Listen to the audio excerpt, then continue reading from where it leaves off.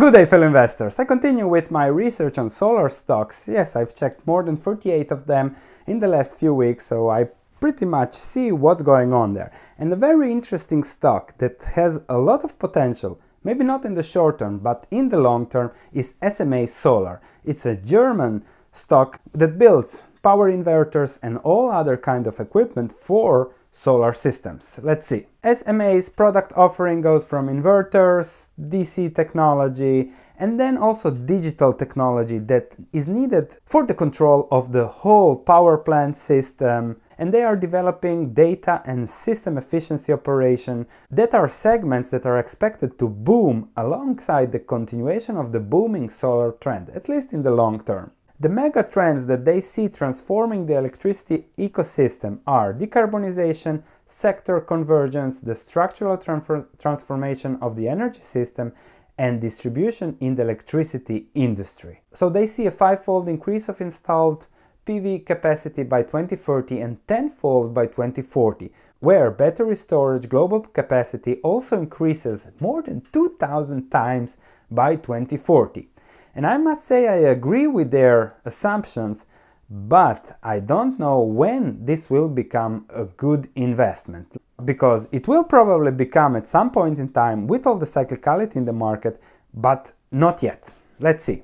In the short term, things are not so rosy as we have discussed in yesterday's video about China cutting its quotas for solar electricity, cutting solar electricity prices that has really clamored the market for all solar stocks and all solar related producers, which might create an opportunity. So that's again a very interesting point. Now going back to SMA, we have had guidance with China growing or staying flat. They guide about 900 million to 1 billion in revenues for 2018. However, you can see here on the right side extreme volatility in their regional sales. They lost 50% of sales in the Americas in 2017 in comparison to 2016. Other companies really gained territory there. And then they were growing in China and Europe and the Middle East and Africa. However, this volatility can now happen also in China, so I don't think they will hit the 900 million or 1 billion nor the EBITDA guidance they have shown. And that means a turnaround from profits, I think the profits was 0.8 earned EPS in 2017, to quickly negative losses. And then the only thing that can save the stock price is the book value. And you can see here how the stock price has been going up and down, similar trends, short-term cycle in the solar industry, up and down, up and down. And what saves the stock price in a downtrend is the book value.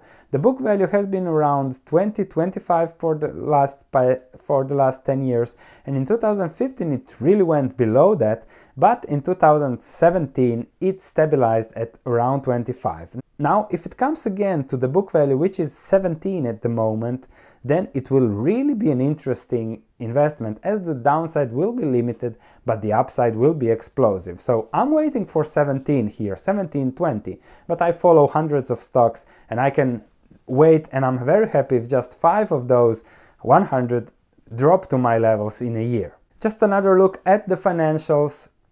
If they have difficulties hitting those 901 million in revenue. The gross margin might drop from 21% to 15 and then we have losses instead of gains. And then everything changes, all the models the analysts use changes, negative earnings lead to downgrades, guidance cuts and depressed stock prices. So I wouldn't be surprised if we see 20. It might not happen, but I don't have to invest in any stock that I think has potential. So they expect a flattish market development in China the, their addressable market might not grow at 14% as they expect. It might grow at 10 or it might remain flat. And that changes completely. Their investments, they have invested in growth and now they might not see the profits they expected. So the company is really a leader in specific sectors. It is a good business. It has a lot of cash, about 10, 12 euros per share which is most part most the most part of the book value. So it's not a bad business. It has no debt. So it's a good business in a very very positive trend but it might not just yet be the time to invest in it because I'm not going against the market. I like the price to stabilize or to really be below the intrinsic value, give me a margin of safety so that I can wait out one, two, three, four, five years, add accordingly when necessary. So this is my discussion on SMA Solar. I'm looking forward to your comments. What do you think about the stock? What do you think about my strategy? It is possible that it reverts. The China says, oh, we change our mind. It is possible, but you never know. So we'll see. We'll keep following, keep an eye on this stock, on many others, and then we'll find the best investments. Thank you for watching. Check my research platform for more research in detail and analysis on sectors and on stocks to invest in. I'll see you in the next video.